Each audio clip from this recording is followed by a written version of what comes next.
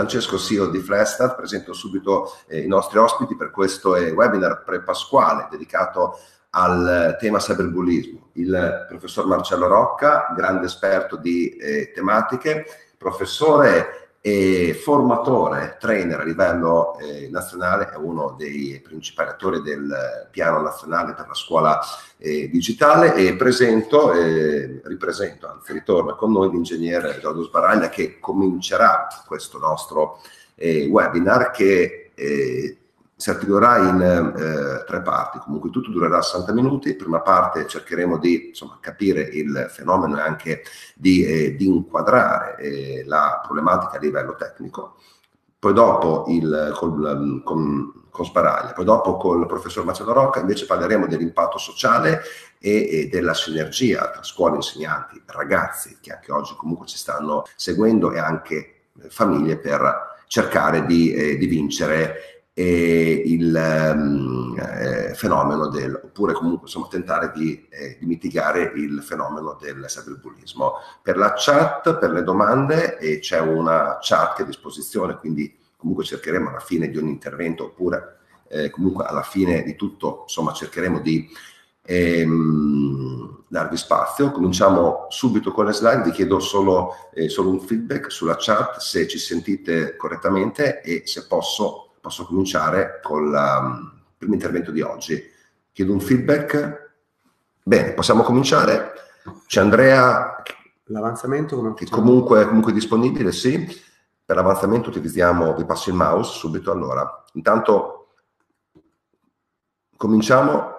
Bene, allora, intanto conosciamo cos'è eh, tecnicamente il fenomeno del cyberbullismo e anche conosciamo l'ingegnere Giorgio Sbaraglia, grande appassionato di informatica e come lui si definisce, eh, smanettone. Ti lascio la parola. Grazie Francesco, mi presento, qui vedete la mia slide di presentazione, Io mi occupo a tempo pieno di eh, cyber security come formazione, come consulenza. Oltre a questo svolgo attività di data protection officer in, per alcune aziende, qui stiamo parlando del regolamento privacy, del GDPR, sono socio del CLUSIT, che è l'Associazione Italiana per la Sicurezza Informatica, il maggiore ente in Italia che si occupa di cyber security, che ogni anno redige un importante rapporto, il rapporto CLUSIT, che chiunque può scaricare dal sito del CLUSIT, che raffigura la, lo stato della cyber sicurezza, o sarebbe meglio dire della cyber insicurezza in Italia.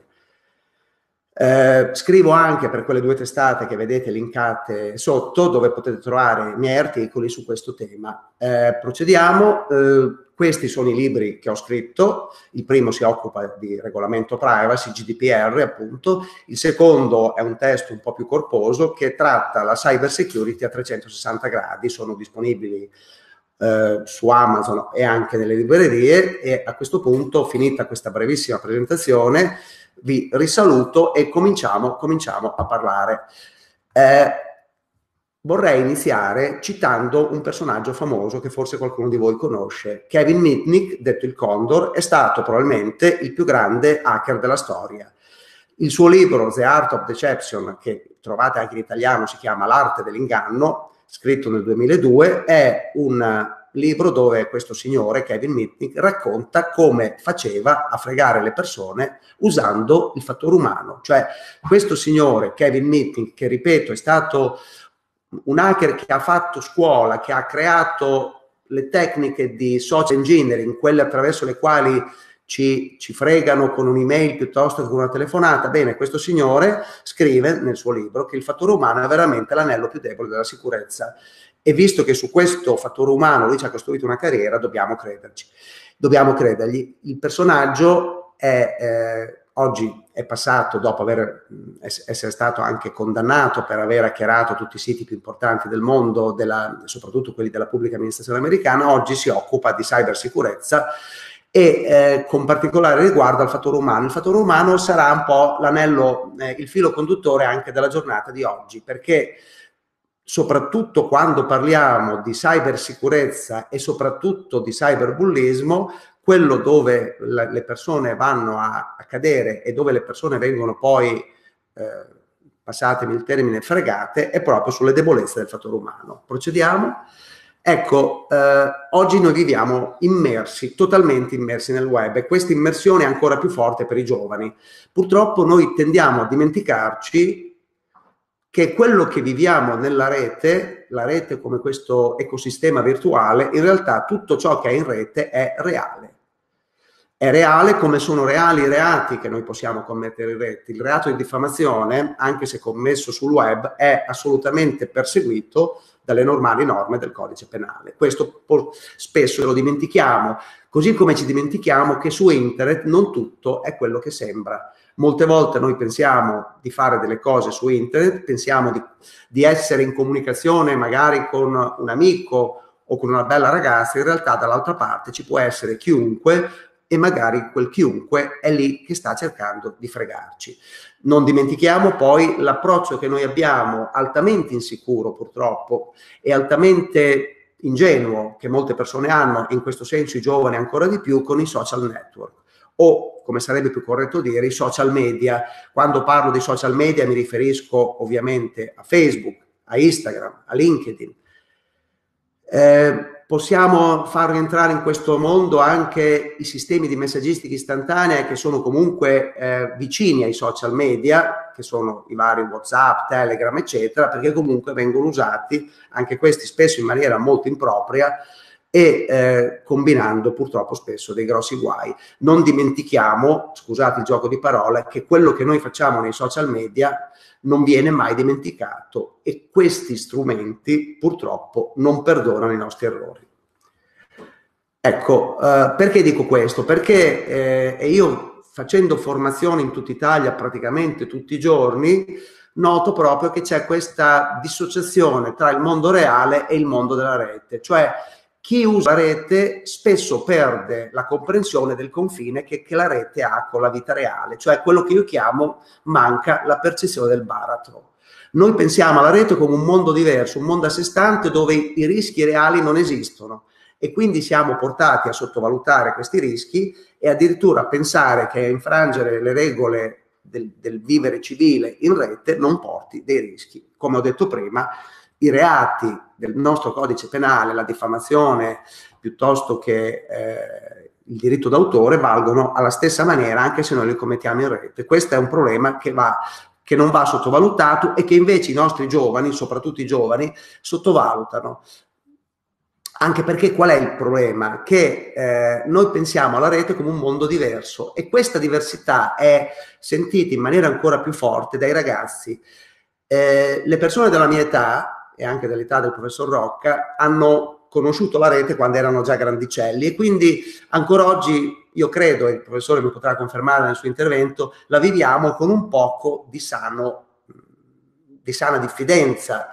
Non, non è nata con noi la rete. Bene, invece i nostri figli, i cosiddetti nativi digitali, e su questo ci sarebbe molto da dire, bene, i nativi digitali sono invece portati a considerare la rete come l'acqua nella quale i pesci navigano, nella quale i pesci nuotano e quindi la vivono come qualcosa di normale, di scontato, dimenticandosi che invece è un mondo che ha una serie di problematiche importanti. Ecco, dicevo, queste problematiche si riflettono poi nel fatto che i social network, i social media non perdonano. Eh, non è questa la sede per soffermarsi più di tanto, ma mi permetto di raccontarvi un paio di, di aneddoti che hanno fatto scuola. Questa signora, Justin Sacco, nel 2013 sta per partire, sta per prendere un aereo dall'America con direzione Città del Capo. È un personaggio importante, ha un ruolo di dirigente delle e capo delle pubbliche relazioni in una società importante quotata in borsa, bene, questa signora, mentre sta per prendere l'aereo, fa questo tweet.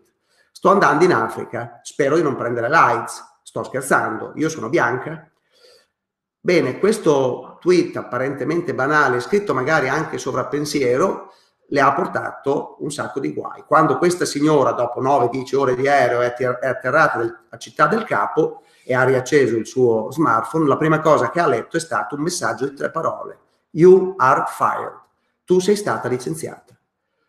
Questo breve messaggio di due righe le ha cambiato la vita, perché questo messaggio che nel tempo del viaggio aveva girato in rete ha, l'ha portata ad essere licenziata. Quindi attenzione, per questo è un esempio classico, ripeto, ha fatto scuola e poi questa signora ci ha scritto sopra anche un libro per raccontare la, la sua disgrazia, bene, eh, questo messaggio ci, fa, ci prova come i social network non perdonano mai e non si dimenticano mai di quello che noi facciamo. Alla stessa maniera, un altro episodio, questo è successo durante le Olimpiadi del 2016, dove le ragazze del tiro con l'arco, conosco bene il tema perché anch'io ho fatto tiro con l'arco, eh, hanno rischiato di eh, come dice il titolo, di sfiorare il miracolo e di vincere una medaglia, una medaglia di bronzo alle Olimpiadi.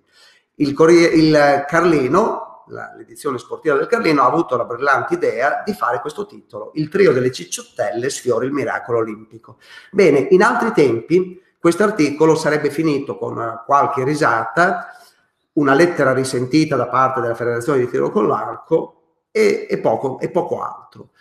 In epoca di social media, questo articolo ha scatenato un pandemonio. Tant'è vero che il direttore del quotidiano sportivo del Carlino, Giuseppe Tassi, e lo vediamo qui da, questa, da, questo, da questo post di scuse che ha dovuto fare, ha addirittura, è stato addirittura rimosso perché questo, questo eh, titolo è diventato virale, ha scatenato una marea di proteste e Giuseppe Tassi è stato licenziato, poi, poi, dopo alla fine in realtà è stato riassunto, ma insomma ha, ha rischiato il posto. Vedete, tutto questo serve per farci capire che eh, nei social media noi facciamo delle cose pensando di vivere in un mondo a parte, in realtà noi stiamo facendo, vai avanti, stiamo facendo qualcosa che impatta con la, con la vita reale e anche in questo senso non dobbiamo mai dimenticare, ripeto il gioco di parole, che i social non dimenticano mai eh, il GDPR, il nuovo regolamento della privacy, ha introdotto all'articolo 17 il diritto all'oblio, quindi noi abbiamo diritto che i nostri dati personali vengano cancellati, ma questo è un diritto più virtuale che reale. Noi sappiamo bene, e, e se non lo sappiamo dobbiamo impararlo in fretta, che scomparire dalla rete è praticamente impossibile.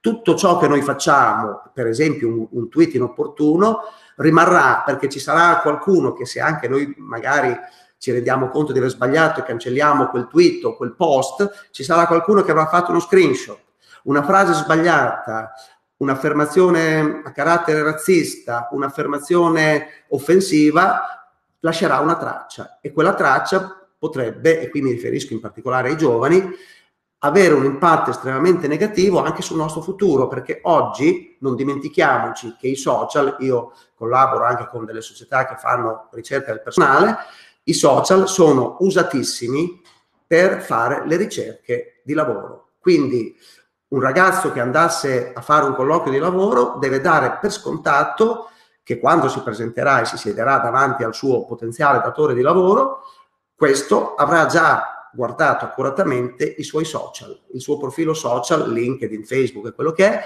e qualunque cosa questo ragazzo avrà detto magari a distanza di di anni addietro, ritornerà. Quindi fate molta, molta attenzione.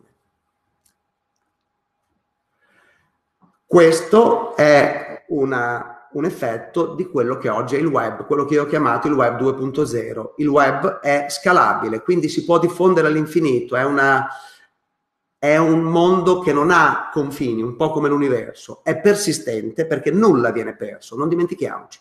Anche un post cancellato lascerà delle tracce, anche perché c'è la, re- replicabilità, qualunque cosa, di qualunque cosa si può fare copia e si può condividere. Non solo, qualunque cosa può essere ricercata. Abbiamo conosciuto tutti la facilità con la quale Google è in grado di trovare di trovare qualunque ricerca che noi facciamo, eh, non è facile sparire dalla rete, quindi è molto importante, e qui mi riferisco soprattutto ai giovani, sapere che qualunque cosa noi andremo a dire o, a, o qualunque traccia noi lasceremo in rete, qualcuno la potrà trovare.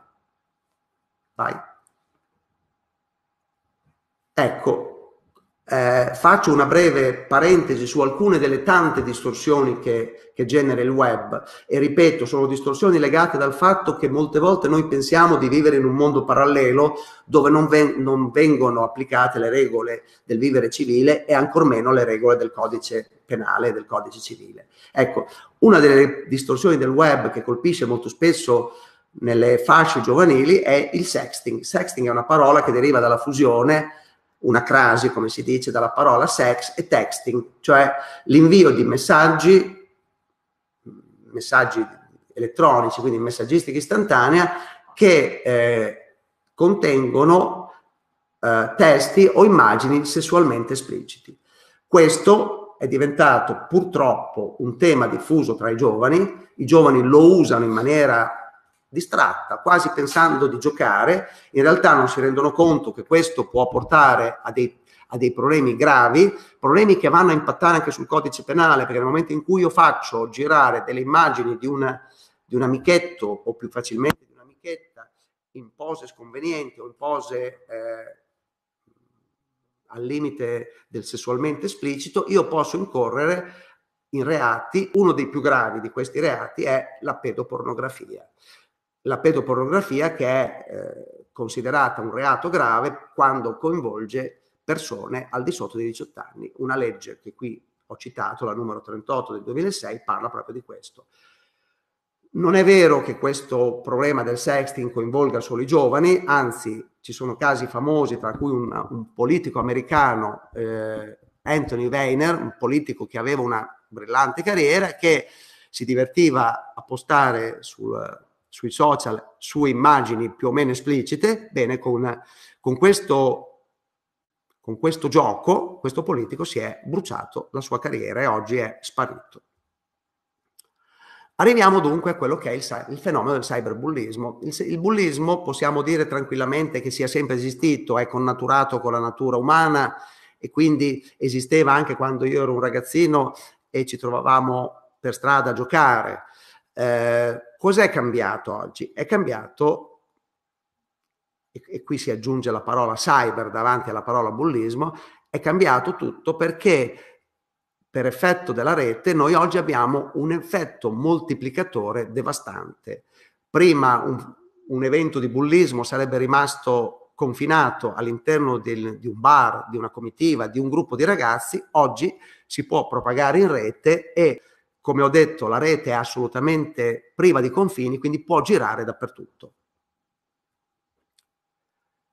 E oggi, questa è una statistica fatta dal Censis, eh, non è recentissima, quindi posso pensare che questo numero, il 91%, sia addirittura in crescita. Oggi i cosiddetti teenager, cioè quei ragazzi che hanno l'età tra 14 e 18 anni, sono per il 91% presenti, cioè iscritti ad almeno un social media eh, Facebook, anche se oggi Facebook è sempre più diffuso tra i grandi e sempre meno, meno presente tra i ragazzi, Instagram, Snapchat, eccetera. Bene, questa diffusione, che di per sé non è censurabile, porta comunque al fatto che dobbiamo capire che questo uso di questi strumenti va fatto con una certa attenzione, cosa che purtroppo non è.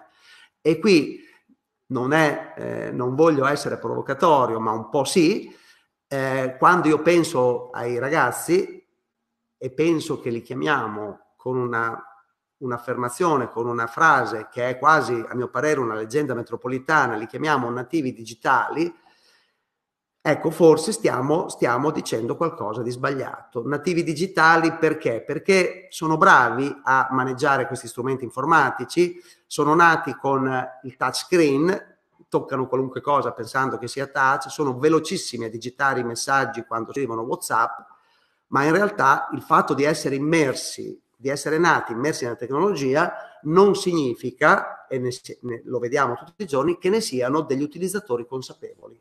Anzi, molte volte questo utilizzo è fatto in maniera inconsapevole. Questa inconsapevolezza, credetemi, nasce proprio dal fatto che io ho una figlia in età teenager, quindi vedo anche, vivo anche di persona questo fenomeno, eh, questa convinzione di saper fare, di essere nativi digitali, perché noi grandi glielo diciamo, li trattiamo come degli esperti del, del web, in realtà li porta a essere bravi nella pratica, nella manualità, ma pochissimo attenti perché manca, come, qualun- come qualunque giovane come a qualunque giovane manca, una certa attenzione alla conoscenza dei rischi, conoscenza che poi si, si acquisisce con l'esperienza. Andiamo avanti.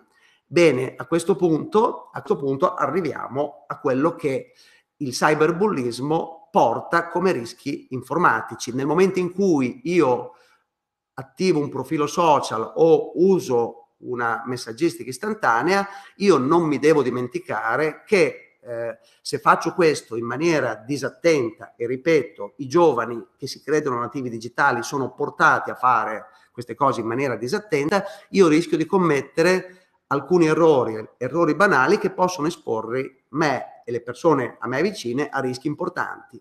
Ne cito solo alcuni che fanno parte poi della mia abituale formazione in aula, che sono per esempio la scarsa protezione dei propri account. Io vedo spessissimo ragazzi che si fanno violare, si fanno rubare le password perché magari le hanno messe facili o magari perché le password di accesso ai propri social magari le hanno messe deboli, le hanno messe facili, le hanno messe con il nome del loro cantante preferito, questo è un fatto che è realmente, realmente accaduto, o del loro amico o del loro ragazzo, dopodiché non solo le mettono deboli, ma magari le, le comunicano ai loro amici e non solo lasciano i telefoni incustoditi permettendo ad altri di accedere ai, pro- ai propri social con le proprie credenziali. E vi potrei raccontare di casi dove questo ha generato, perché purtroppo tra i ragazzi delle volte si fanno scherzi pesanti pensa- pensando di giocare, ma poi si finisce, come è successo, questo è un caso realmente accaduto che è finito all'attenzione della polizia postale, si finisce per magari prendere il, lo smartphone de- dell'amico o dell'amichetta, entrare nel, proprio, nel suo profilo Facebook perché questo l'ha lasciato incustodito, e postare, ripeto, è un fatto realmente accaduto, postare dei, delle cose estremamente offensive verso una professoressa. È successo un incidente importante che ha, dato, che ha generato l'intervento della polizia postale. Quindi, e vado verso la conclusione della mia parte, è molto importante evitare queste cose, perché queste cose, questi, queste disattenzioni che sembrano apparente, apparentemente banali, eh, banali perché rispetto a una, a una, cosa che noi abbiamo forte nel nostro DNA, la protezione della nostra casa. Ecco, nessuno lascerebbe la casa aperta o uscirebbe lasciando la chiave sulla porta, perché abbiamo un senso di protezione forte, come ho detto. Bene, quando noi navighiamo nel, nel web e quando noi usiamo i social, non abbiamo la stessa attenzione. E se qualcuno riesce a accedere ai nostri profili, perché gli abbiamo lasciato la password o perché l'abbiamo messa banale, questo qualcuno gira in rete spacciandosi per noi. Questo si chiama furto d'identità ed è, oltre che essere un reato, è un incidente che può generare eh, eventi piuttosto gravi. Il furto d'identità, il laboratorio CRIF, che è una società italiana che si occupa dei rischi interbancari, lo tratta, lo censisce, ogni anno eh, si verifica in Italia in misura di 25-26 mila casi, con dei danni economici importanti, non colpisce solo i giovani, ma è particolarmente forte all'interno del, del mondo giovanile, perché i giovani sottovalutano questo rischio. Ripeto, avere qualcuno che navighi in rete a nome tuo è una cosa pericolosissima, proteggete i vostri account non date il vostro telefono a chiunque, non lasciate il vostro telefono privo di una password di protezione. Oggi poi con i dispositivi dotati di controlli biometrici, il touch, il touch ID, il face ID, è abbastanza facile proteggerli, ma io vedo ancora purtroppo tanta gente che non usa questo. E con questo concludo ricordandovi che la Polizia Postale, che è un servizio estremamente efficiente, dotato di personale estremamente capace anche dal punto di vista informatico, vi può aiutare, ha anche una pagina Facebook dove dà utili consigli ai quali si può fare riferimento e alla quale Polizia Postale ci si può rivolgere perché tutte queste cose, lo ripeto e questo conclude il mio intervento, se anche eh, prodotte, generate, fatte sul web sono comunque reati che vanno combattuti e vanno contrastati. Non lasciamo che questo mondo venga vissuto come una giungla al di fuori delle, delle regole della società civile. E con questo concludo, lascio qui i miei contatti, potete trovare molte di queste cose anche sul mio sito giorgiosbaraglia.it eh, come anche sui miei libri. A questo punto vi ringrazio e passo la parola alla collega professor Rocca. Bene, eh, grazie, grazie all'ingegnere Giorgio Sbaraglia che dopo tornerà con noi per le domande finali. Intanto eh, vi ridò ancora il buongiorno e siccome qualche, qualche amico è comunque entrato comunque in ritardo, eh, quest'oggi è Flash Start, è piattaforma e leader per, per, il filtraggio e la sicurezza e la, eh, l'amministrazione del web vi sta offrendo, stiamo parlando di cyberbullismo, stiamo parlando sia del fenomeno e anche de- della parte tecnica, ma anche adesso cerchiamo insieme al professor Marcello Rocca, eh, esponente per il piano nazionale della scuola digitale e grande appassionato di eh, certo. informatica da eh, diverse, eh, diverse, diverse, sei, sei ancora giovane, allora, capelli bianchi. Allora, come, come ho scritto nella mia biografia, ma credo che quello che dice, quello che fa Marcello sia, ci, ci accomuni, siamo smanettoni fin dalla nascita, ma non della nascita dei computer, perché quando siamo nati noi i computer non esistevano proprio, ma da quando sono nati i computer abbiamo iniziato ancora ai tempi del DOS a giocarci certo. e a fare un po' di casino. Certo. Eh, allora, cominciamo con il nostro secondo eh, intervento che sarà più eh, sul piano sociale, anche di sinergia scuola, eh, insegnanti e famiglie. E dopodiché in eh, 5 minuti alla fine, mentre comunque risponderete al nostro sondaggio per capire e anche valutare comunque i nostri contenuti e vi parlerò eh, di Flestart e, e di come tecnicamente può, eh, credo in modo fattivo e anche comunque aspettando eh, migliaia di, eh, di, scuole sparse un po' in tutto il mondo. Chiaramente c'è anche uno spazio per le vostre domande. Io adesso passo la parola al professor eh, Marcello Rocca. Da vicino comunque il microfono. Sì, Ti apro la tua presentazione che sì. tu potrai poi eh, cambiare eh, come come slide. Prendo Bene, il tuo eh... file ed eccoci qua. Ok, allora eh, innanzitutto eh, mi presento, eh, la mia attività è nata parecchi anni fa nel mondo della scuola, io sono un insegnante ormai in pensione da due anni, magari farò invidia a qualche collega che mi sta ascoltando, sì, esistono ancora gli insegnanti che vanno in pensione. E, in questi anni ho partecipato eh, come formatore al piano nazionale scuola digitale per, la, per l'Emilia Romagna e, e, mi sono specializzato soprattutto su un progetto eh, che si chiama appunto il progetto per un web sicuro eh, progetto che è nato a Roma diversi anni fa per uh, l'intervento del MOIGE, il Movimento Italiano Genitori, e della Polizia Postale. Ho partecipato a dei corsi di formazione e, e in questo modo mi sono specializzato per presentare il problema del, dell'utilizzo dei social, del, del web anche un pochettino più in generale all'interno delle istituzioni scolastiche. E, ehm, faccio, realizzo siti web per alcune scuole della mia zona, eh, fra l'altro mi, mi, piace molto smanettare, come diceva prima eh, il collega, eh, con Joomla, un, un, CMS che mi permette appunto di realizzare eh, siti web. diciamo, partiamo adesso subito, io direi che mi collego eh, immediatamente a quanto ha detto eh, il collega nella, nella sua presentazione. Partiamo da un aspetto fondamentale che molto spesso viene dimenticato. Il cyberbullismo è un reato, è un reato eh, sotto ogni aspetto. E, mentre prima il bullismo eh, era un qualcosa che rimaneva racchiuso eh, in un ambiente, eh, in una stanza, il cyberbullismo viene, eh, mh, ha una diffusione capillare nel mondo del web, e, e, e questo porta a, a veramente a, a, realizzare situazioni in cui eh, si possono verificare casi eh, di, di, reato, reato che eh, a secondo del, del, del, del, concetto che noi diamo a questa, a questa parola possono essere, eh, si possono dividere secondo il codice penale del, de, nostro codice penale, eh, in, eh, può, il cyberbullismo sono, possono essere percosse, lesione personale, ingiurie, diffamazione, violenza privata, minacce, danneggiamento. Quindi sono tutte quelle eh, quei comportamenti che sono penalmente eh, rilevanti in una situazione legata appunto al bullismo e, e al cyberbullismo.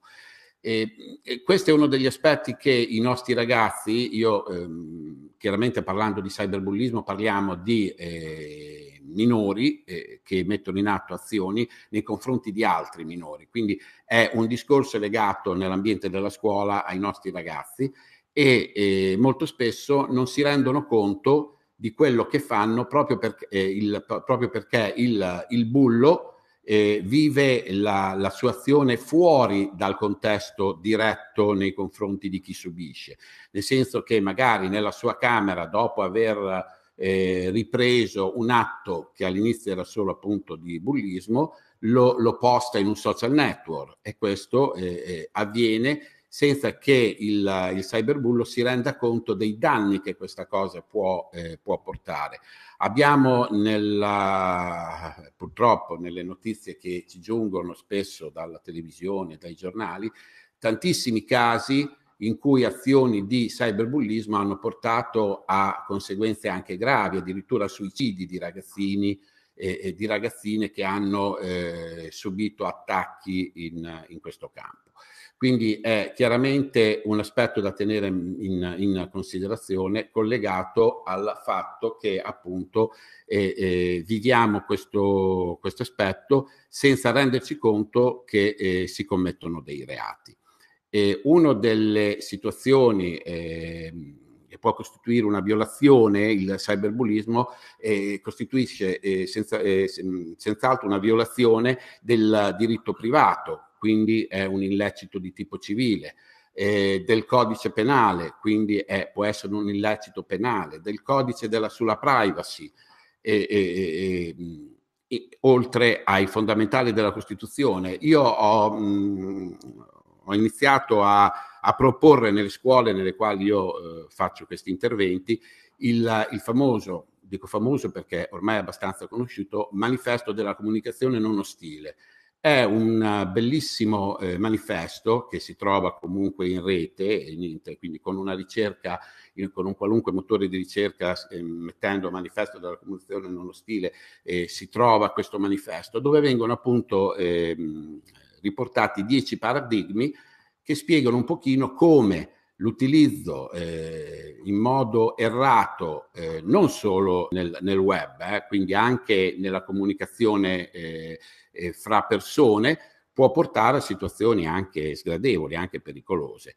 E, e quindi è importante cons- tiene, tenere in considerazione questo, questo aspetto. E, ok. E, il più delle volte eh, l'atto del bullismo eh, viola, va contro sia la legge penale e sia quelle civile e quindi in questi casi eh, si possono avere delle, eh, dei, dei, processi, quindi dar vita delle, a dei processi sia di tipo penale sia, che, sia di tipo civile.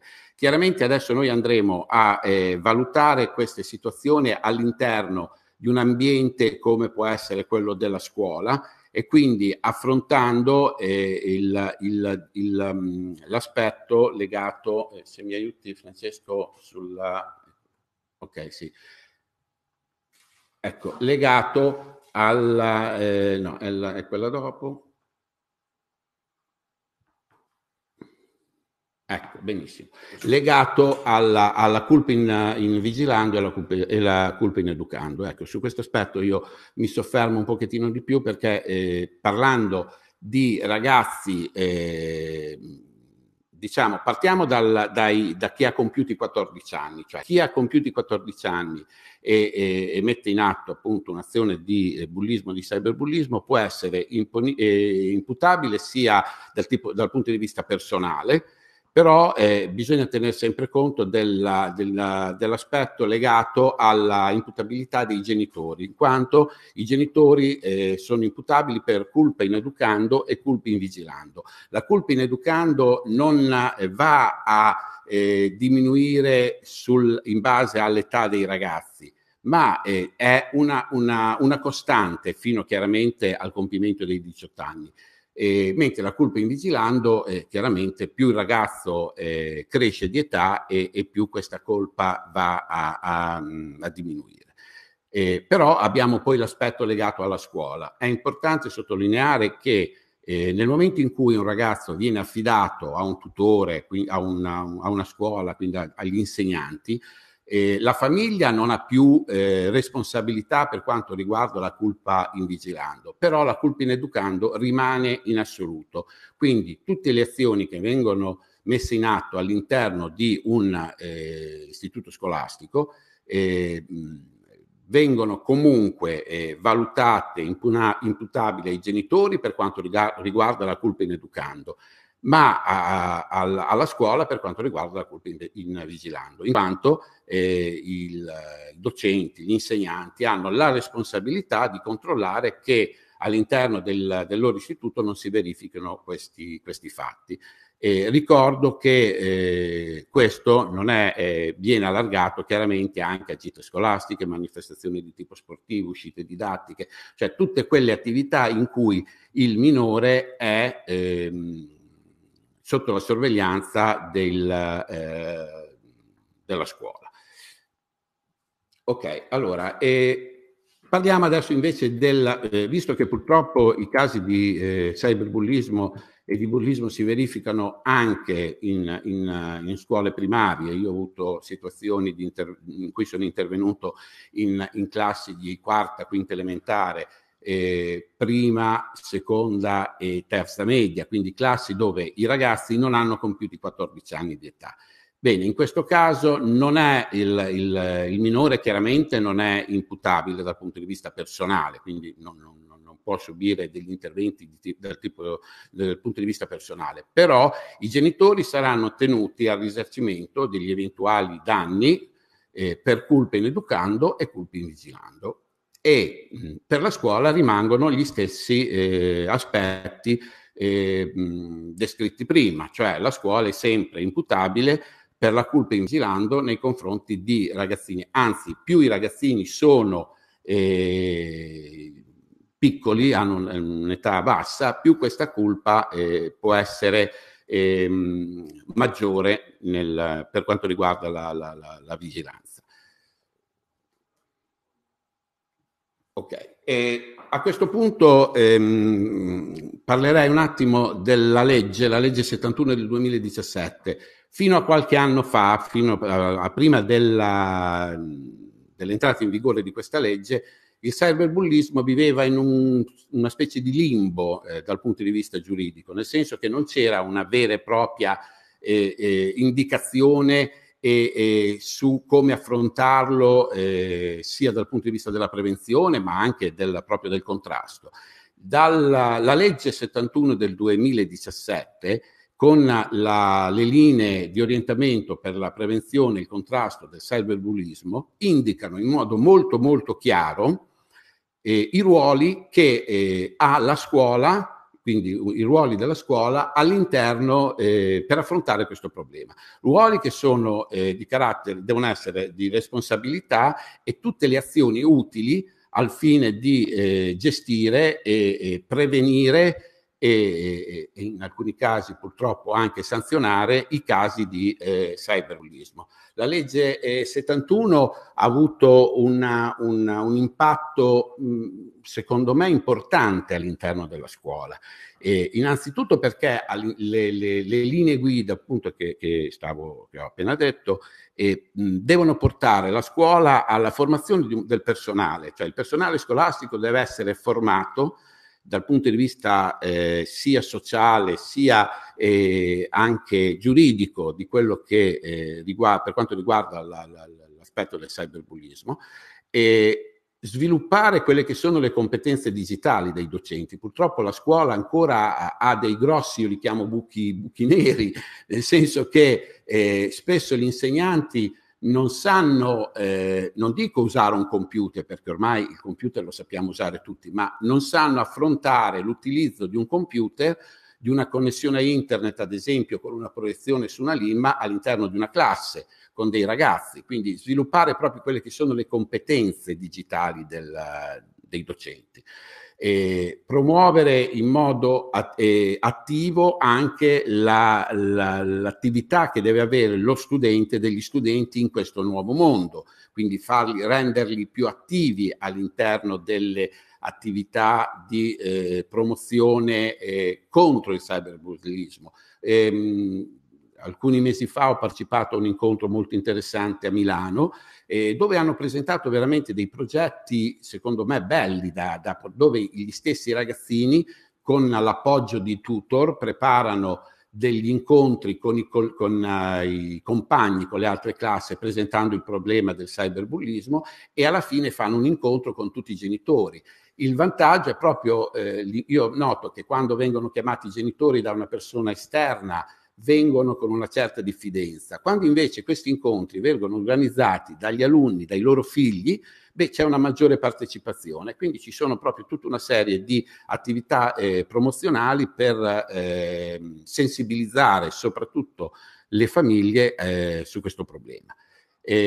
prevedere misure di sostegno e di eh, rieducazione per quanti sono coinvolti, per i minori coinvolti, sostegno eh, perché purtroppo, eh, come dicevo prima, alcune azioni di eh, cyberbullismo possono porta- portare anche a conseguenze molto molto gravi e l'educazione dei minori che hanno messo in atto queste, queste azioni.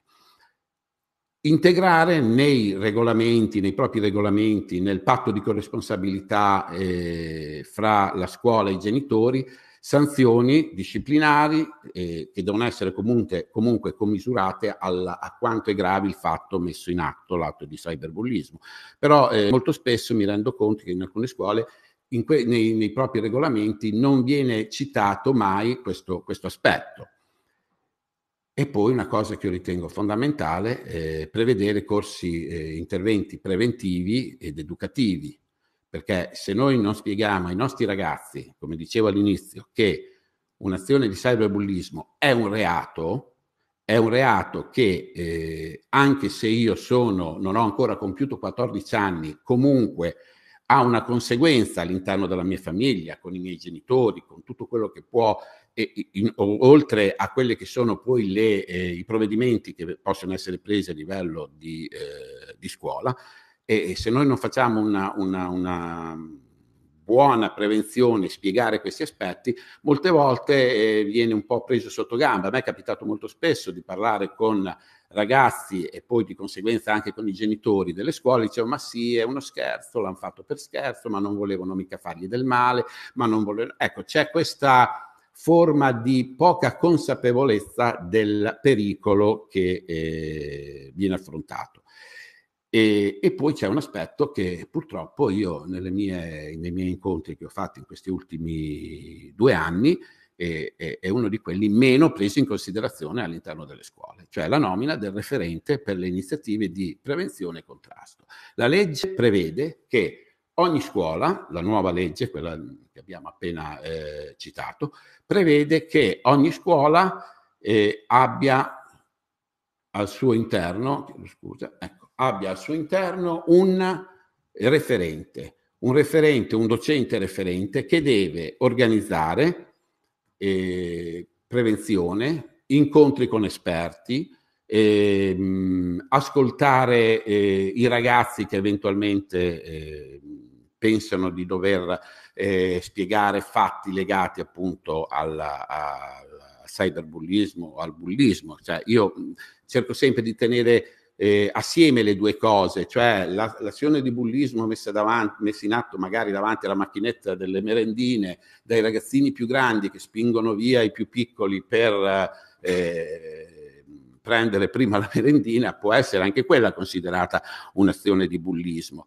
E, e la scuola deve essere pronta ad affrontare queste, questi fatti, questi queste situazioni e, e, e, quindi fornirsi di un regolamento molto chiaro su quello che mh, sono le, le, le, eh, eh, le, conseguenze che si possono, eh, alle quali si può andare incontro in caso di episodi di, di, di questo genere.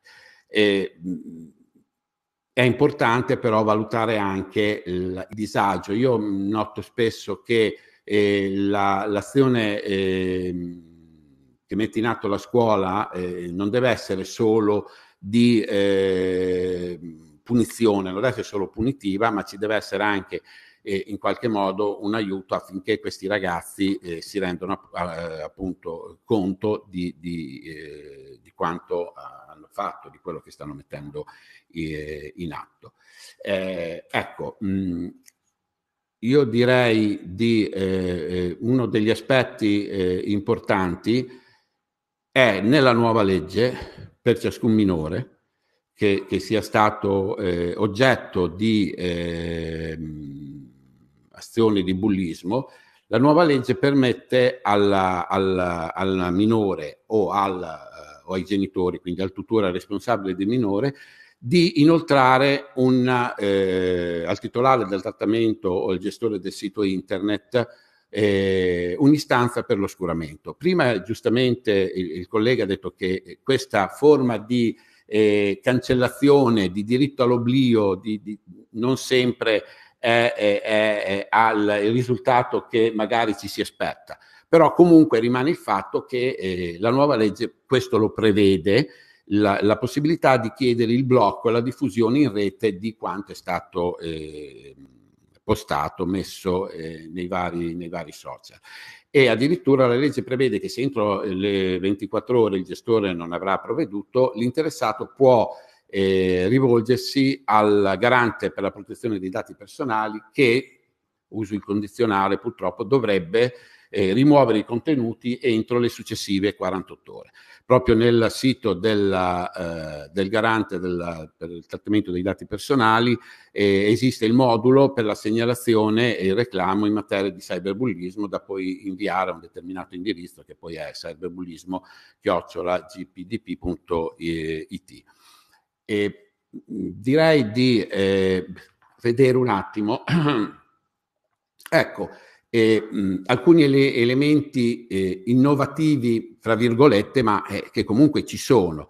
Vabbè, l'importanza di informare sempre la famiglia in caso di situazioni di cyberbullismo. Ecco, diciamo che salvo che il fatto non costituisca un, un vero e proprio reato, eh, il dirigente scolastico eh, che viene a conoscenza di azioni legate appunto al cyberbullismo ne deve informare tempestivamente i soggetti esercitanti la responsabilità eh, genitoriale, quindi i genitori, il tutore e quanti hanno appunto questa, questa responsabilità. E informarli eh, di ehm, di quanto loro hanno intenzione di attivare adeguatamente, di come attivare adeguatamente tutte quelle che sono le eh, azioni di carattere appunto educativo e, e, e riparatorio. E poi abbiamo una, una forma eh, che è stata presa da altri casi, che è quella dell'ammonimento. Eh, adesso il, ehm, nel caso di una eh, comunicazione di questo genere, come dicevo prima, fatto dal dirigente o dai genitori, in, fatto di casi di eh, cyberbullismo, il minore insieme a uno dei genitori o comunque una persona che esercita la, la responsabilità sul ragazzo, viene chiamato dal, dal, dal questore e viene, gli viene dato, io dico a scuola per rendere la cosa un pochettino più chiara ai, miei, ai ragazzi che mi seguono, il cosiddetto cartellino giallo, cioè una munizione che eh, i ragazzi si portano dietro fino al compimento della maggiore età. E, e chiaramente non va a, ehm, sul casellario giudiziario, non rimane traccia una volta compiuta la, il diciottesimo anno di età, però è un qualcosa che eh, serve per far capire loro quanto sia eh, importante rispettare gli altri all'interno di queste forme di eh, comunicazione eh, online. E, ecco, ehm, io l- ho cercato di sintetizzare il più possibile quelli che sono gli aspetti eh, giuridici, anche se chiaramente ci sono tantissime altre cose da aggiungere legate a, a, a, questo aspetto. Quello che mi preme eh, sottolineare è l'importanza che deve avere la scuola all'interno della, um, per quanto riguarda la, l'aiuto e, e, comunque il controllo sui ragazzi.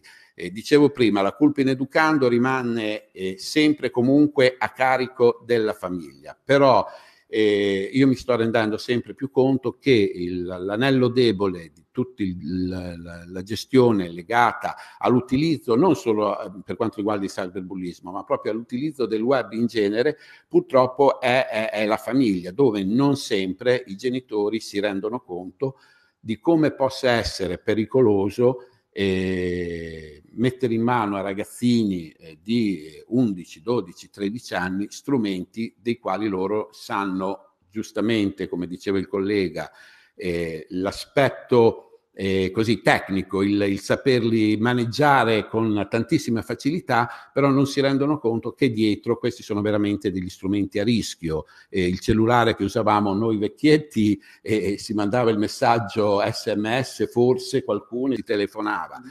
Ecco, ecco. adesso un, un, cellulare ha lo smart, ha il browser, ha un, una, una, serie di eh, strumenti di software che rendono questi, questi strumenti dei veri e propri eh, mini computer. E quindi io eh, la mia, la mia eh, sollecitazione è proprio spiegare alle famiglie, e questa la scuola eh, ha un, un, ruolo fondamentale, spiegare alle famiglie come questi strumenti possono essere veramente a rischio. E vi lascio anch'io alcune indicazioni per quanto riguarda eh, la, la mia email eh, per eventuali contatti se qualcuno ha necessità di chiarimenti e la, vi ringrazio dell'attenzione e ripasso la parola a Francesco. Grazie professor Rocca, grazie eh, ingegnere Giorgio Sbaraglia. Cinque minuti, volevo ehm, completare, poi c'è anche, spazio per le domande e vi spiegherò anche come, eh, come richiedere eh, il, il, l'attestato per eh, che ha bisogno. Eh, si è parlato di eh, normativa, si è parlato di supporto anche dell'autorità, si è parlato di eh, famiglie e di ragazzi. Cosa può fare invece la eh, tecnologia? 5 minuti su Flestart. Abbiamo compiuto 18 eh, anni di storia, quindi siamo comunque diventati maggiorenni. Siamo un'azienda attiva dal 2001, nata prima in Romagna. Eh, la nostra base operativa è a Cesena, invece il nostro ufficio commerciale, siccome lavoriamo adesso comunque molto anche con l'estero, si trova nel eh, Regno Unito.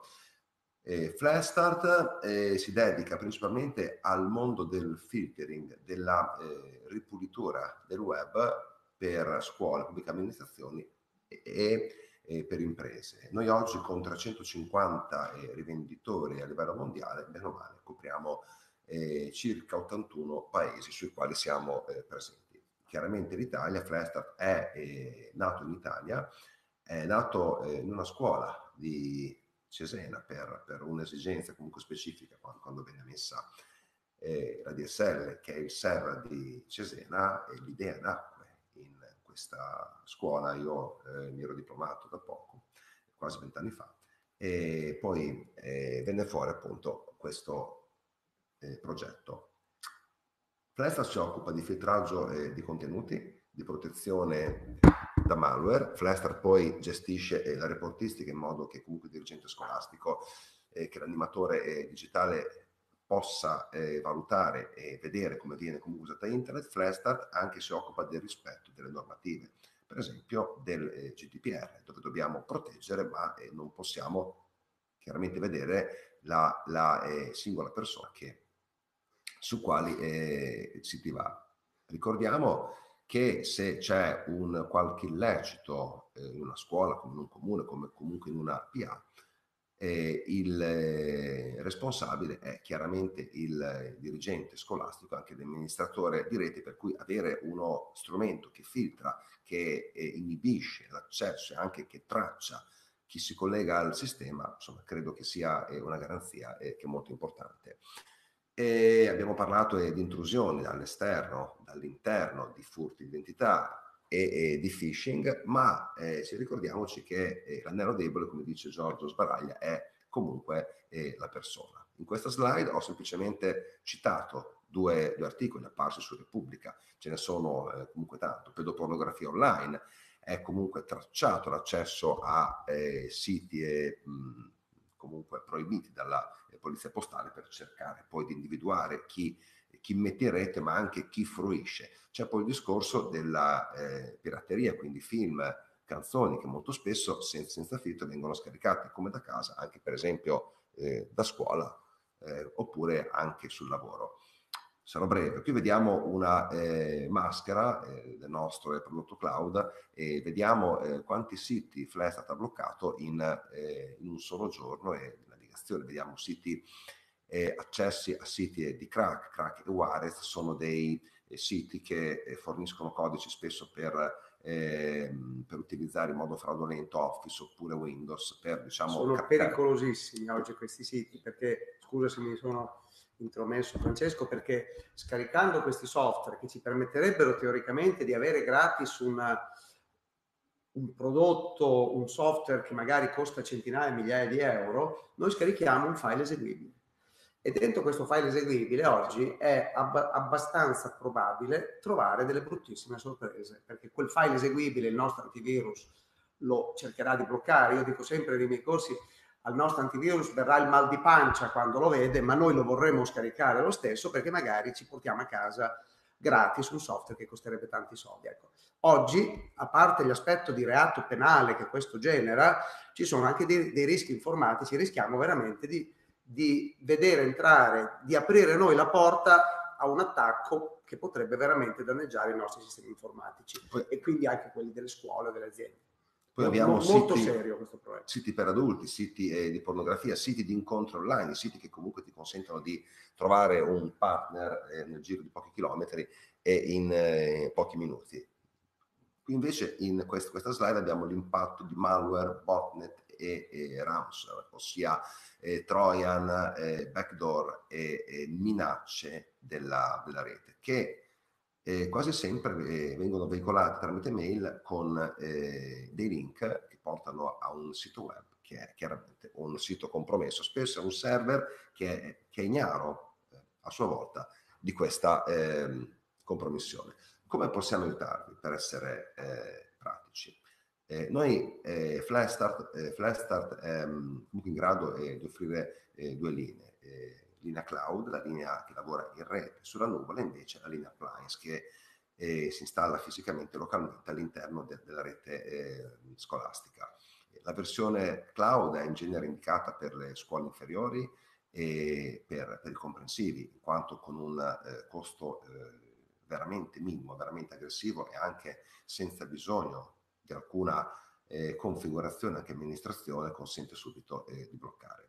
Le scuole invece superiori, università, eh, le scuole anche eh, comunque inferiori ma più eh, complesse che hanno bisogno di eh, caratteristiche aggiuntive invece possono contare sulla eh, protezione, eh, protezione appliance che, che, lavora chiaramente sull'intera scuola. Su questa griglia vi ho, vi invece raffigurato, su questa griglia è una tabella comparativa eh, vediamo sulla colonna a sinistra eh, delle, delle, delle insomma, caratteristiche, c'è, c'è, il filtro di navigazione, c'è il report, eh, le blacklist aggiornate, il monitoraggio che sono eh, comprese, presenti eh, sia, ehm, sia, in versione cloud che in versione appliance.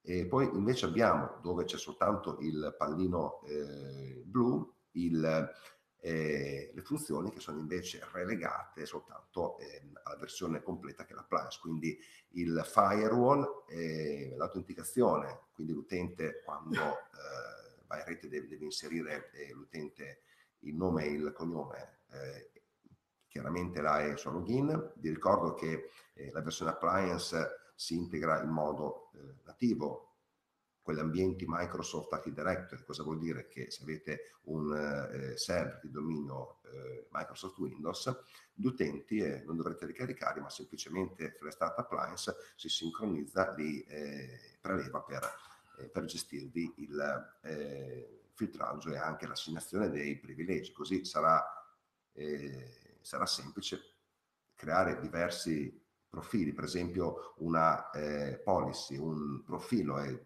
di navigazione per gli studenti, invece un diverso profilo per i docenti. Eh, non è detto che i docenti eh, non debbano essere filtrati, perché no. spesso, spesso e volentieri alcune problematiche vengono... Anche appunto, in modo involontario, sì, spesso. Eh. Sì, vengono, eh, vengono, vengono, appunto dal mondo docente. Perché? Cinque motivi per scegliere Flestart, che è, ricordo, commercializzato in Italia soltanto dai rivenditori. Quindi abbiamo dei partner che sono presenti in tutte le regioni. Si attiva in pochi minuti, Chiaramente Flashstart è semplice, anche intuitivo da gestire. Abbiamo eh, puntato quasi, quasi, tutto sulla eh, semplicità delle maschere e anche delle procedure di attivazioni, supportati in Italia da ben 150 eh, partner nazionali, per cui troverete eh, nella vostra provincia, se non al massimo nella vostra eh, regione, un eh, partner che è eh, presente e anche preparato e che può visitarvi per offrirvi chiaramente la soluzione Flestart. Siamo a norma completa GDPR e siamo a norma completa con lo statuto do, eh, dei lavoratori. Cosa vuol dire? Che possiamo filtrare, possiamo proteggere, ma eh, garantiamo la privacy e anche eh, il rispetto che nessuna eh, informazione relativa al, alla storia dei siti visitati da un singolo utente verrà eh, verrà vista. Eh, il prezzo e le eh, prestazioni sono chiaramente, credo, tra ehm, i nostri punti, eh, punti, di forza.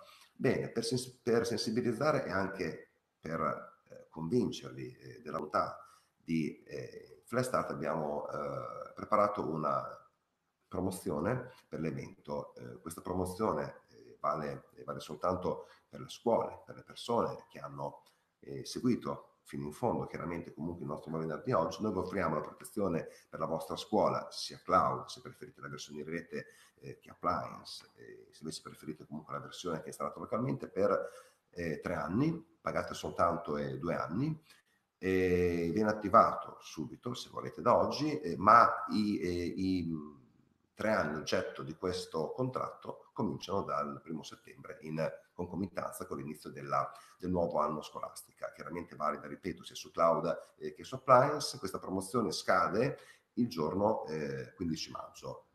Per informazioni vi ho lasciato la mail, eh, vi ho lasciato il nostro sito web di riferimento, flester.com, poi c'è anche eh, la sezione scuole eh, all'interno delle, delle, soluzioni con dei insomma, eh, case study anche con con dei, eh, eh, degli osservatori e dei materiali specifici eh, sulle, eh, sulle, scuole. Eh, vi chiedo soltanto eh, un minuto, mentre cominciamo con le domande, se avete comunque domande, per i vostri feedback. Vi lancio la nostra intervista, quella che insomma è la cosiddetta survey, e vi chiedo di, di compilarla per avere intanto ehm, un metro di valutazione sulla qualità del webinar, sui punti di miglioramento e, e, e, e sinceramente se siete comunque interessati ehm, ad avere un contatto senza impegno per capire quanto può costare Flashstart eh, per la vostra scuola oppure per, per capire semplicemente eh, se Flashstart eh, è il caso vostro, in fondo c'è una eh, domanda che vi chiede di lasciare un numero diretto per essere contattati e per essere eh, per poter scambiare eh, qualche eh, chiacchiera con voi su una possibile proposta di Flestart per la scuola.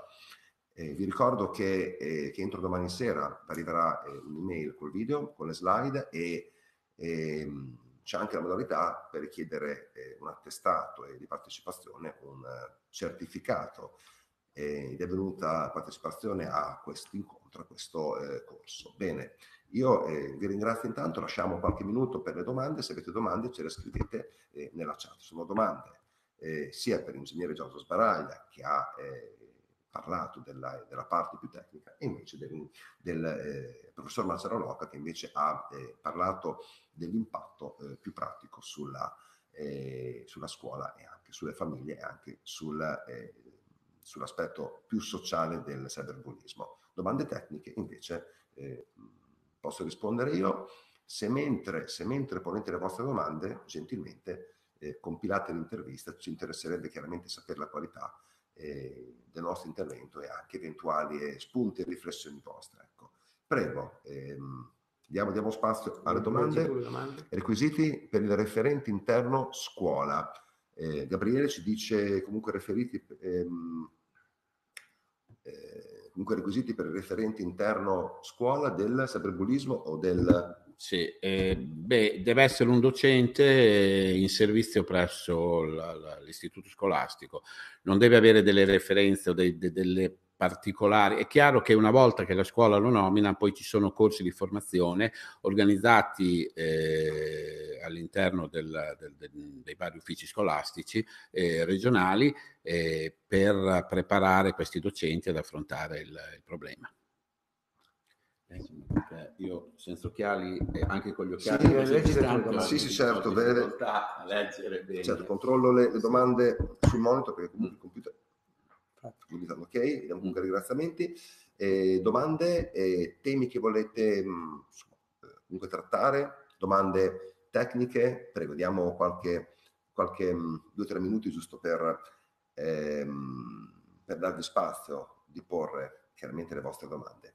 Prego, sto leggendo, stanno scrivendo comunque in diverse persone, un attimo soltanto che prendiamo le domande. Ci chiedono se daremo un link per vederlo, certamente verrà inviato eh, entro domani sera alla stessa mail con la quale vi siete eh, comunque registrati, iscritti al nostro eh, corso di oggi. Intanto, mentre rispondete, mentre ponete le domande, vi chiedo eh, di, rispondere, eh, di rispondere online alla nostra intervista. sì, il filmato verrà messo su YouTube, giusto? Sì, esattamente. Su YouTube sarà linkato ed anche le slide, i materiali verranno condivisi e verranno comunque distribuiti. Ecco, per domande vi chiedo invece di usare eh, la chat che è presente sotto. Dicono complimenti, Candida, grazie.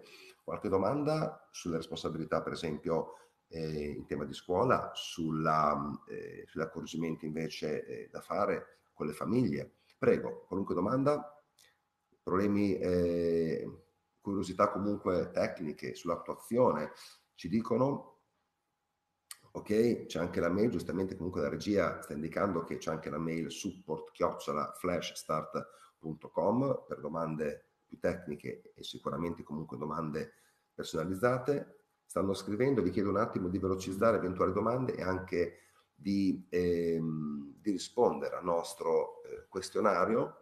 Eh, mancano, eh, mancano ancora alcune risposte, vi chiedo di formulare online in modo che eh, completiamo questo nostro eh, evento di oggi. Diamo ancora eh, due o tre minuti per rispondere. Ecco, dice accorgimenti. Gabriele ci chiede accorgimenti tecnici specifici per il cyberbullismo. Io direi che Beh, allora, gli accorgimenti tecnici sono legati a quello che è quello che poi è un po' la mia mission aziendale, cioè creare la consapevolezza sui rischi informatici.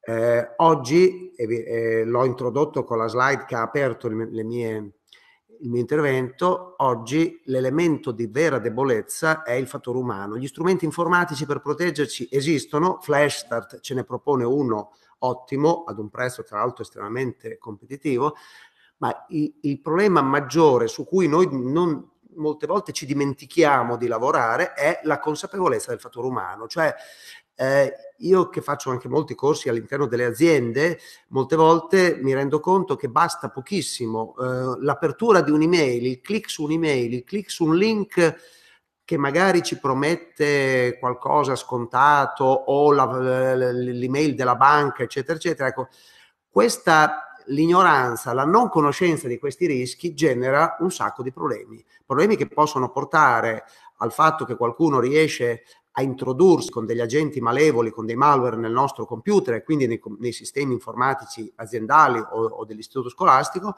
come anche eh, a rubarci dati o a rubarci soldi. Ecco, il vero problema, noi, il vero problema è che noi oggi usiamo i computer, ma non abbiamo la consapevolezza dei rischi che questo comporta.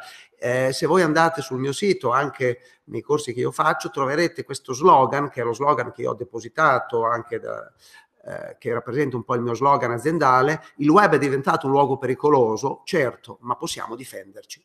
Non è così difficile. Purtroppo questa formazione che va fatta a tutti i livelli, dai ragazzini che pensano di saper fare, invece sono molte volte dei, dei, degli imprudenti, agli adulti che hanno conosciuto i computer in età appunto adulta e non hanno ancora trovato il modo di entrare in sintonia. Bene, conoscere questi rischi è l'unica maniera, la maniera più importante per evitarli. A nessuno viene chiesto di diventare un esperto di informatica, ma di sapere riconoscere questi rischi. Io dico sempre, se noi non sappiamo che passare col rosso a un semaforo fa, eh, è pericoloso, prima o poi ci faremo male. Per, dare, per guidare una macchina, un'automobile ci fanno dare l'esame della patente, anche per i computer ci dovrebbe essere una formazione. Questo è molto importante. Bene, grazie. E intanto che rispondete comunque al nostro questionario, ci sono altre due domande comunque interessanti, speriamo di riuscire a essere brevi e in sì, eh, comunque due minuti. Ci chiedo se è possibile comunque riparlare brevemente del diritto all'oblio in maniera più dettagliata. Ecco, Beh, è, so se... è, chiaro che i tempi che abbiamo a disposizione non ci permettono di, essere, eh, di, di, di poter fare un discorso eh, più approfondito. È chiaro che le nuove norme eh, prevedono la, il diritto del, di chi eh, riscontra eh, sui, sui, social eh, messaggio, comunque posta che possono in qualche modo eh, danneggiare sia il ragazzo che anche la famiglia, perché molto spesso si, si trovano eh, post dove vengono ehm, fatte considerazioni offensive anche nei confronti della famiglia e in questo caso è possibile chiedere la, la, la, la cancellazione, l'eliminazione di questi, di questi post. E, io eh, sinceramente ancora non ho una, un resoconto eh, reale di quanti questi interventi abbiano avuto un, un esito positivo. Rispondo, ecco. rispondo eh, il diritto all'oblio è normato all'articolo 17 del GDPR. È in quella fascia di articoli che vanno dal 15 al 22 che quando noi, quando noi leggiamo le informative sono i diritti dell'interessato. Quindi il GDPR pone una, un focus su questo tema. Io ho detto un'altra cosa prima, non ho detto che il diritto all'oblio non vale, ho detto che non possiamo farci troppe illusioni, eh, perché certo. comunque qualche malintenzionato, che anche se il post viene tolto, se anche l'immagine sparisce, se l'è salvato, se è fatto lo screenshot, ci potrà sempre essere. Quindi qui, come non mai, vale la prevenzione. Cioè se noi riusciamo a non fare l'errore prima, è sempre meglio perché la rete lascia sempre delle tracce. Poi il diritto all'oblio vale, il diritto all'oblio lo possiamo invocare, ne abbiamo il diritto, come, come appunto dice il termine stesso, diritto all'oblio, ma eh, purtroppo se qualcuno si vuole mettere da parte la nostra immagine o il nostro, o il nostro post offensivo, razzista Io, o quant'altro, screenshot, sì. potrebbe riuscire a farlo. Quindi cerchiamo di non sbagliare all'inizio, se possibile. Io ho sempre davanti agli occhi, è un po' vecchio chiaramente, il video di Amanda Todd, eh, uno dei primi casi eh, di, di, di cyberbullismo che hanno poi portato al suicidio della ragazza.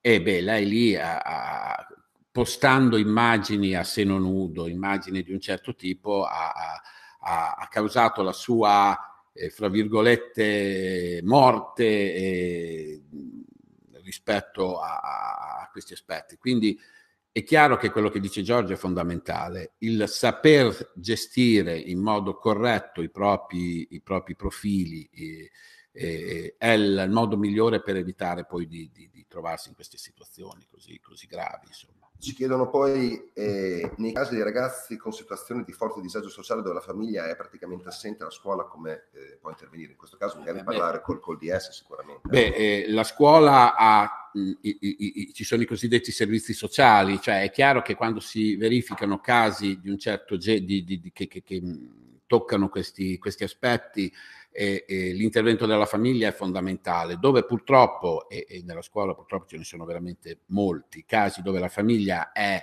assente e beh, la, fam- la, scuola si deve in qualche modo, non dico sostituire alla famiglia, ma deve trovare tutte quelle eh, strategie che il territorio mette a disposizione, quindi parlo dei servizi sociali, dei centri di aggregazione, cioè cercare di aiutare questi ragazzi in questa forma eh, eh, non, non in più c'è sempre il discorso legato alla, a, a, all'intervento da parte delle, delle, autorità, quindi della polizia postale, se il, è, se la, il fatto eh, è grave. Insomma. Bene, io eh, vi ringrazio, abbiamo continuato anche, anche comunque oltre abbiamo, al tempo che, che c'eravamo, abbiamo comunque sforato, ringrazio il professor Marcello Rocca, ringrazio l'ingegnere Giorgio Di Paraglia, vi ricordo i loro contatti, se volete comunque una eh, presenza, un corso, un ampliamento di qualunque tipo, saranno condivisi eh, con loro materiali. Vi ricordo che abbiamo una promozione che scade il eh, 15 maggio per dotare la vostra scuola di Flash Start, sia versione cloud che appliance a vostra scelta, per eh, potete filtrare, proteggere, anche autenticare comunque i vostri utenti per tre anni pagando soltanto eh, due anni e questi tre anni cominciano dal primo settembre, sebbene voi possiate comunque già subito installare il prodotto in rete. Eh, domani inviamo le slide e inviamo anche chiaramente la registrazione eh, di questo evento. Concludiamo qui.